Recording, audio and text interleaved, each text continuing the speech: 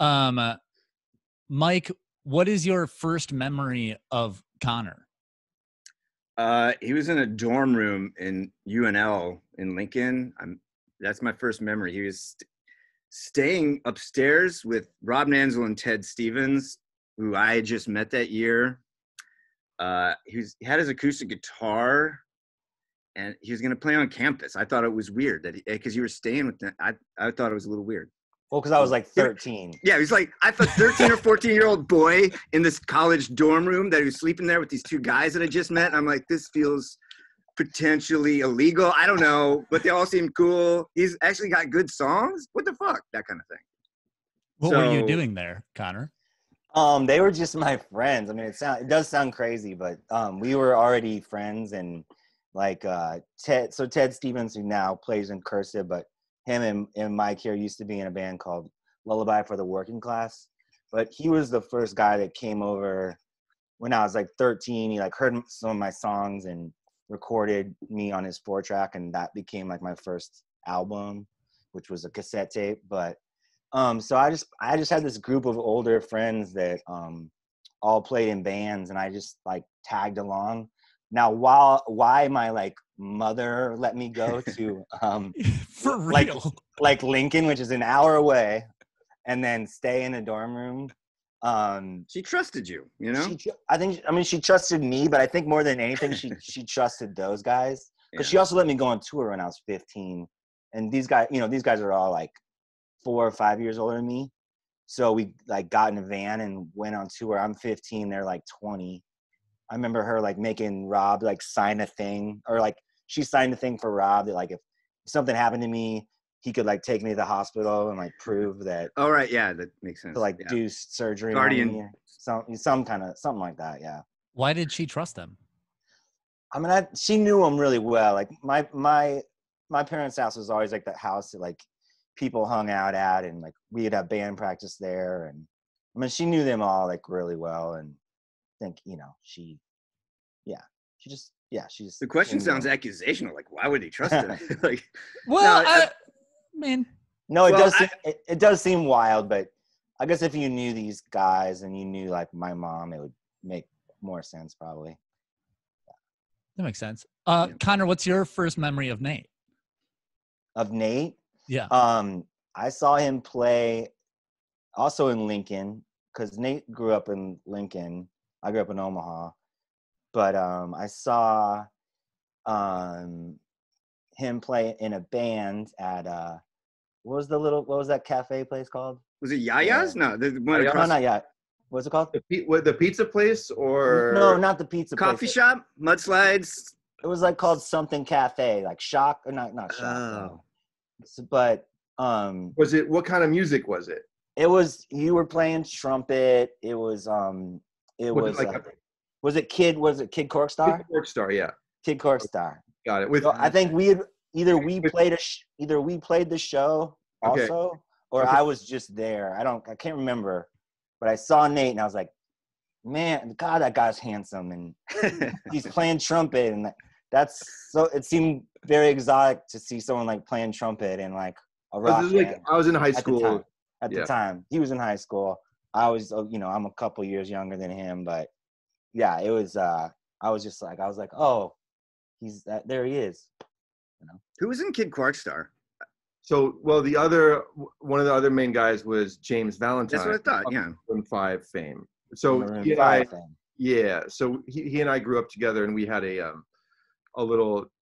What started as a jazz group, we would play standards tunes, you know, um, and then we we started writing our own music by the time we were in like 11th grade. So and it became kind of a little more fusion oriented, a little more like I don't know. It's hard, hard to explain, but um, we started writing our own material. We became Kid Quarkstar. We started as the Jazz Thugs. when Oh, we were just playing like- Jazz Thugs. Yeah. Yeah. so, and that's, that's so what's that's up. James from Maroon Five, myself, a couple other folks from the university. Do you still have CDs of them of I- that group? I do. It was our like th- that was our yeah the, yes absolutely that was very much um, our our project that we focused on uh, primarily in high school, and we had a we had a Thursday night gig at a pizza place that Mike's talking about. Yeah, Yeah, yeah. And that's That's where I thought you saw him because we'd go there. Yeah. That was my first kind of experience writing. We would get horn sections. That was my first experience um, writing charts for horn sections and things like that.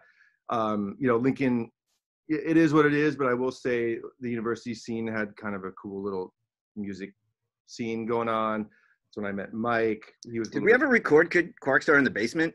with your brother. Yeah. Yeah. Okay, that's what I thought. Yeah. And So- same with Our first, yeah, actually, our first, reco- our second recording was made in Mike's basement um, with his brother. I think engineering some of it. Oh, you probably filled in some of it for some of the engineering, but um, That- no, that's when I was like learning how to engineer. I just watched them and and and you and James Valentine and yeah. So, anyway, that's so we. But then our, we would every once in a while these like special gigs would come up, like the ones that Conor's talking about, like you know, opening for a rock band or something like that, and um, you know, we we uh, get very excited about that sort of thing. Um, and then when you three came together, there there's like there's always like one person that wants it the most um, to like make a group happen. Um, who was like pushing the group to to form and pushing it along? Well, it kind of happened gradually. Like uh, the very first, you know, technically Bright Eyes record, which I don't even consider a record, was again just like me with my four track making terrible like acoustic songs. They're um, not terrible. bas- Some some Oh, are. Some are Some- pretty some are, terrible. yeah. And then my and then the second record, Letting Off the Happiness, is like Mike offered to record me and basically join the band and help me. Like we made all the everything happen, and then we, you know, basically that's when we started, and then then we made Fevers and Mirrors, and then when we made Lifted, Nate came into the picture, and so that was 2002, and I remember at some point on maybe at the end of that tour, I just assumed that because Nate talks more now, but at the time he barely said anything, and I was pretty convinced that he like didn't even like my music, but he was like really talented and could play everything. And I was like, well, I'm gonna keep him around. You know, I can, I can pay him. Like he's here to get paid or whatever. He wants to go on tour. Um, and I remember at the end, I think it was at the end of the Lifted tour, I just assumed he was gonna like go back to Chicago where he's living and like play jazz music or do something more interesting.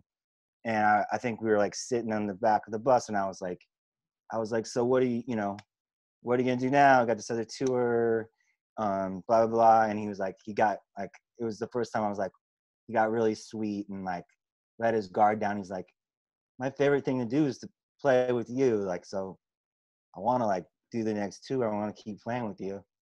And so That- then basically he was in the band after that. So Yeah. That is so sweet. because I after high school, I moved from Lincoln to Chicago because uh, you know I was really into jazz and classical music and all that stuff, and you know, I went to music school and I loved being in Chicago very much. It was great, and um, uh, and I was very much kind of dividing my focus between those between a lot of different things, but um, one of them was playing with Conor and Mike, and uh, so I was very much sort of going in two different directions at once and there, but there's a lot of overlap there so it worked out you made fine. you made the right decision. Let's just put it Gotcha. that way. We will never know. There's no future in jazz. There's no money in jazz. i still i will say i've i've, I've been fortunate enough to sort of get back into that a little bit more on that track lately because of um this i don't know there's been a lot of great stuff happening in la lately so um a bit of a resurgence in the jazz world that has allowed me to uh, get back into it. Well, was um, you know, was this album a bit of a, a dream of yours? I mean, it sounded like because you, it just sounded like you had free reign. You know, like the production is so big and there's like so much that you put into it. It really sounds like this. It, it sounds like I feel like the album that like every producer or instrumentalist wants to play because it's so beautiful and so big. Oh, thank Well, you. yeah. I think that since we have like our own studio space and nobody was ex- we- eh, we nobody was expecting a Bright Eyes record. I don't know. I think Yeah, we no just one took knew- our time no- and Yeah, and no one knew we were making it, and we like didn't have a label, so it was kind of like we spent like two years making it, and we kind of do whatever we want or take as long as we wanted basically do whatever we wanted so it's a lot of layers to it a lot of steps in the So and process. and who was like, you know, how did you decide to make it so big? What like which one of you was involved in the like, you know, the expansion of the sound? Like all three of us. Yeah, I think had- that's something we collectively kind of have an interest in, and and um, you know, it's definitely a group effort as far as that stuff is concerned. Um, Yeah. Conor, go go ahead, Mike. Oh go. no, I was like, it- it- it's kind of a boring answer, but it's the truth. It's like uh, the dynamic, the work kind of dynamic between the three of us is very collaborative, and and you know. So go ahead. You're gonna ask Conor a question. I don't want to bore your fucking. You're, I sorry, I cuss your listeners. It's all good. Uh, with taped, so I will be able to bleep them, and they'll That's good. sound like Is this rock and video? roll. Do, do they watch this? Um, it, it'll be a thing where I'll probably ask if we can put it up, and Oh, okay, then I won't. I'll leave my shirt on because it's um, getting hot in here. It's like you know, it- Conor's fucking 100 degrees. Mhm. um, uh, Conor, you've written a lot of songs. Have you written a song about Mike or Nate? Um, you know, actually, I wouldn't say an entire song, but there's definitely l- lyrics along the way that I wrote. Well, I name check. Uh, I name check Michael and what's that song on Lift? Oh yeah, some method Like- acting. Like Michael, please keep the tape rolling. Da da da da da da da. Yep. Uh, You're welcome. yep. and then and then and then uh actually on uh there's a song on digital ash that um i always like it i, I kind of always think of Nate, I like when i was writing it i was thinking of nate and i always um uh I still think of him when we when we sing it but it's um it's the end of uh what's that song um uh, symmetry. I, I believe in symmetry. Yeah, the one about the up and down the up and down the treble clef. You Yep. know that whole zone. I was kind of I was kind of thinking Nate because like you know he's the maestro. So Appreciate Yeah. that. and it's a great ending. It's one of my favorite parts of that record. Is Yeah. hearing the outro to Symmetry. It's like a mm. this, and then and then I also wrote first that. day of my first day of my life about Mike as well. But uh, that's a, that's a different story.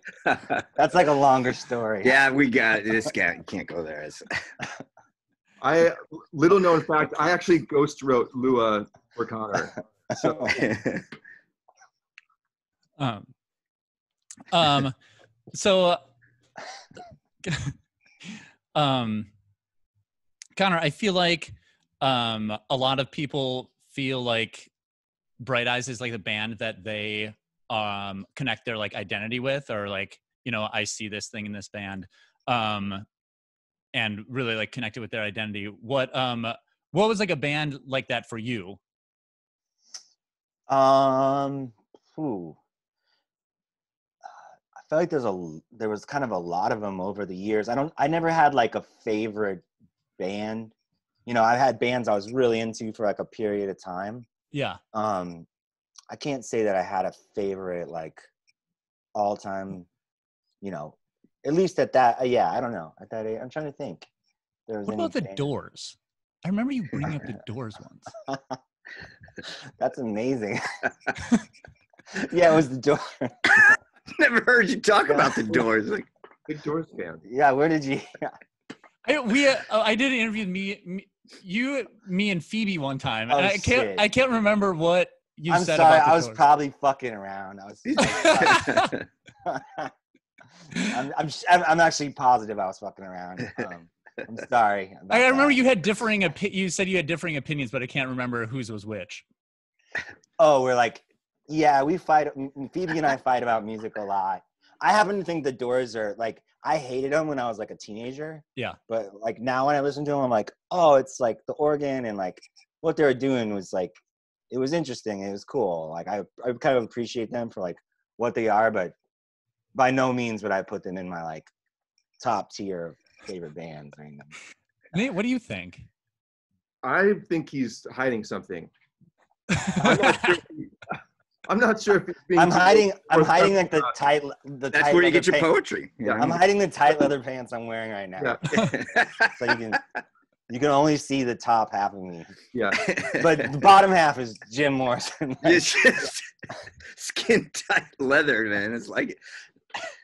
Um, is that what you meant? What do I think about Conor's love of the Doors? no, I just meant what do you feel about the doors with like yeah, let's being hear like what a you're- proto I want to. I want to.